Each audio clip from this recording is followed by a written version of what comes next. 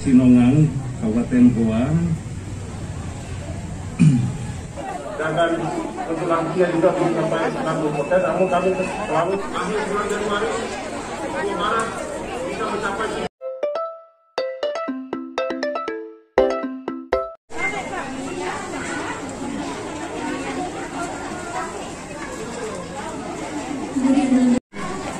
kan dibaliknya ini nama kita, no?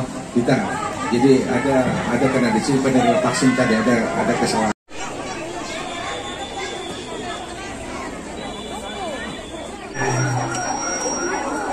vaksinasi yang dilaksanakan di Maluku.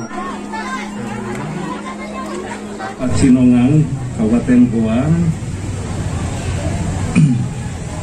Eh, di Kabupaten Goa, kami bersama-sama dengan uh, Forkopimda Goa itu untuk melaksanakan eh, vaksin bagi anak-anak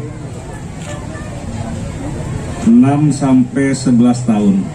Jadi untuk sasaran di SD Go ini kurang lebih se 500 orang, tetapi saat ini kami melaksanakan eh, vaksinasi di sekitar 560 titik di seluruh Sulawesi Selatan.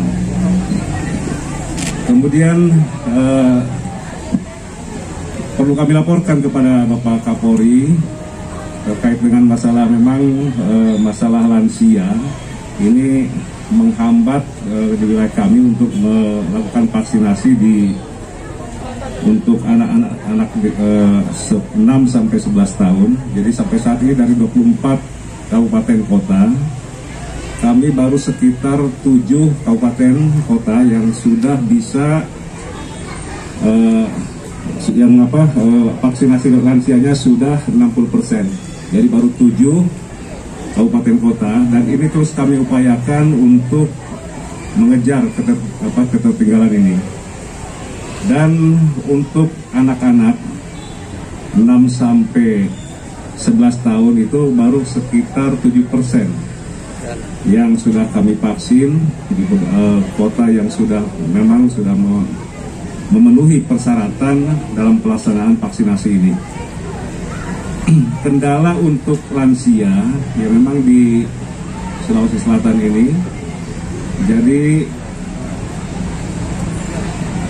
banyak lansia di kami itu ketika kami akan vaksin tensinya cukup tinggi. Itu banyak yang masih di atas 200 200 kemudian juga ada uh, komorbid lain yang lainnya gitu Jadi, makanya sampai saat ini kami masih di angka 57% dan baru 7 kabupaten kota yang bisa melaksanakan uh, vaksinasi bagi anak-anak di antara 6 sampai 11 tahun. Demikian Pak Kapolri.